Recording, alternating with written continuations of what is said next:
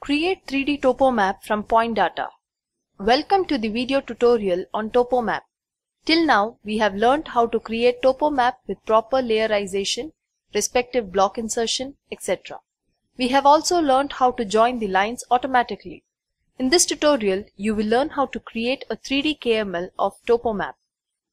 When you create KML, if the coordinates of topo map are in UTM, then it is very meaningful as the created KML will be representing the exact position. However, it is not necessary to have the coordinates in exact UTM to create a KML. After creating the topo map, click on 3D icon and you will be prompted for zone value.